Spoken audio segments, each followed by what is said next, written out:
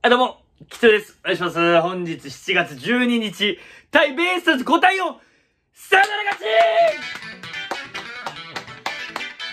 ち強い強いあの、こういう勝ち方が、まだできます、今年のタイガースは。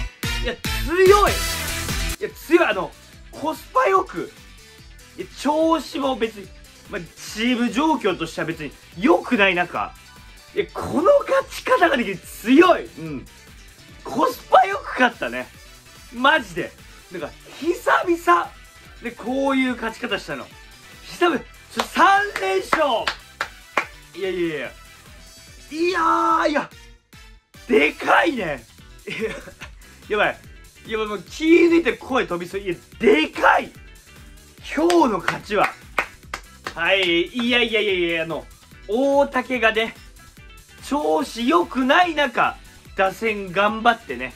いや、本当にね、いや、いや、本当に、いや、大竹でもいいピッチングして、勝ちつけてあげられないみたいな、ことが多かったんでね。いや、持ちつ持たれつですよ。今日大竹良くない中、バッテそういう時はまあ任せてくださいよという。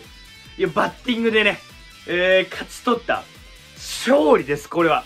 いやーいや、しかも本当に、いや、怖かったよ、本当に。序盤大竹めちゃくちゃ打たれるし、打線全然打てないところで、いや、本当にね、いや、本当にあの、試合全体で見ても、あの、ヒットっていうか、フォアボールとか、出塁したイニングしか点がと、しか点取ってないタイガース。逆に、まあ、残塁もあったけど、こう、ほんとコスパよく、今日も6安打だもん。まあ、相手のエラーとかもありましたけども、6安打で5得点。いやー、素晴らしい。素晴らしい。いや、大竹ね。まず、まあ、ピッチングの大竹。まず、えー、5回4失点で、えー、5回4失点なのに、防御率が、まだね、1.48かな ?1.48 ぐらいある。ええー、こっからですよ、大竹。えー、まあ、初ぐらいかな、こんぐらい。え、クオリティスタートで、えー、いけなかったのは。えー、まあ、まあ、こっからですよ、本当に大竹。まあ、こっからはね、上振れとかね、えー、まあ、調子良かったりとかも、まあ、運が良くて勝ってたところも、えー、もしかしたらあったのかもしれないですけど、マジ、こっから、ちょっと悪い、悪さが出てからですから。えー、この後も頼みます、本当に大竹。はい。いつもありがとうございますということで。いや、本当にね、大竹に黒星、えー、つかなくて本当に良かったです。で、中継ぎ、うん。良かったっすね。えー、馬場もね、めちゃくちゃ良かったっす。えー、で、中継ぎ陣がヒット1本も打たれてないという。素晴らしい。えー、ザキさんのファーボール1個だけかな、出塁は。いやー、素晴らしい。安心できる中継ぎが、え、帰ってきました。ありがとうございます。ということで。えー、まずバッティングですよね。まず、まあ、順を追っていきますか。えー、まずね、えー、大山。さすがです。えー、さすがです。まあ、昨日ね、えー、あまり状態良くなかったんで、えー、まあ、明日以降打ってれば、打ってくれればいいかなと思ってたんですけど、しっかりね、えー、今日打ってくれましたはい。打ってくれましたよ、本当に。で、えー、そのノイジーの当たりね、えー、内野安打、まあ、センター抜ける当たり、まあ、バウアーにちょっとかすったのかな。えー、まあ、巻き取って間に合わず、まあ、記録内野安打ですけども、いや、あの バウアーめちゃくちゃ怖かったね。あの、あの、ノイジーの当たりで、あのー、何？まあ、記録内野安打ですけど、バウアーの真顔怖、真顔怖すぎ。うん。怖すぎたな。いやー、本当に。もうあの2点取れた時点で僕は結構今日はいけるなという感じはありましたね。良い雰囲気。えー、まあ、良いオーラというのをまとってた気がします。やっぱ、まあ、甲子園ホームグラウンドっていうのもありますけども。いやー、その後ね、えー、まあ、大竹山木ツーラン打たれて、8回、糸原、はい、代打糸原から始まりました。えー、ことと、ことおこし、はい、さすがです、本当に。で、森下ツーラン。さすがすぎるわ。今日はね、まあ、この間も中央デーとか言われてましたけど、いやー、中央デーでしたね。で、まあ、いやー、いや、それでね、良かったのは、そこで終わらなかった。うん。その後、えー、まあ、え、前側がツーベースってね、まあ、その後ね、あの、ミーセスゲッツーとかもありましたけども、いやー、まあ、いや、いいよね、その森下前が、その若い力がやっぱ、ね、その、本当にね、今は欠かせないよ。もう森下はね、もうここに来て来てる感じあるけど、やっぱ前側とかほんと欠かせない。その、やっぱ若いし、まあ、期待感も込めて出してあげようとかじゃなくて、本当に、えー、まあ、勝利のピースの一つとしてやっぱね、えー、前側森下がやっぱ、機能してるっていうのはね、めちゃくちゃいいこと。うん。えー、自分、うん、めちゃくちゃいい。いや、本当にね、いやー、まあ今日、あ、そうそうそう、今日あのー、前側だ、えー、相手先発がね、バウアーだったんで、まあ前側が先発でしたけども、もうずっと3番コネでもいいなっていう感じはしますよね。いや、逆に不安なのはサトテル。うん。逆に不安なのはサトテル。えー、まあまあまあ。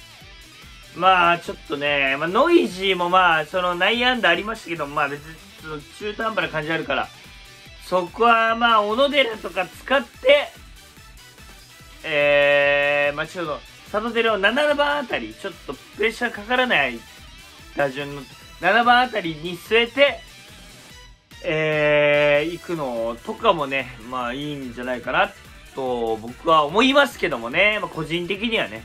はい。で、まあ最終回もね、最終回もね、まあその、エラーが起きた時点でもう、まあ、勝ちを確信しました。はい。えー、まあそれで、誰がサヨナラ打つんだろうなっていうところで、えー、森下、犠牲フライ打ってくれました。えー、まあね、これで3連勝。えー、ベイスターズ3ゲーム差。いやー、ちょっと不安だったけどね。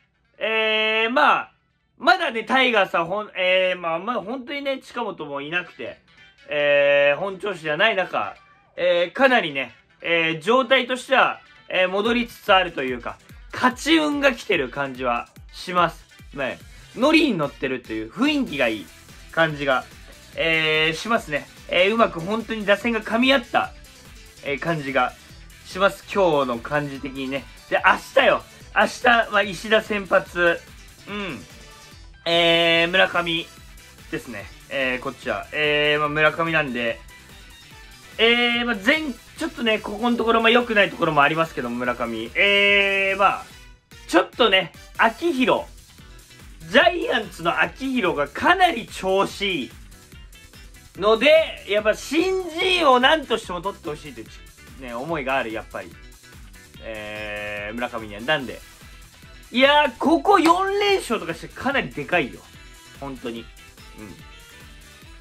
ここは勝っときたい、えー、ところです。はい。